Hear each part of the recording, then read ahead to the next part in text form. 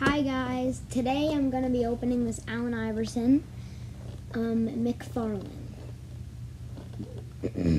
so I have these scissors and I'm going to do a time lapse, so run the time lapse.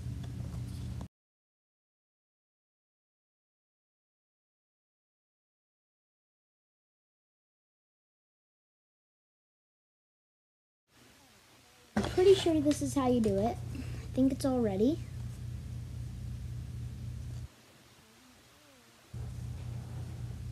I'm gonna, this is gonna be a part one of like McFarlane. I'm gonna do a McFarlane unboxing like series.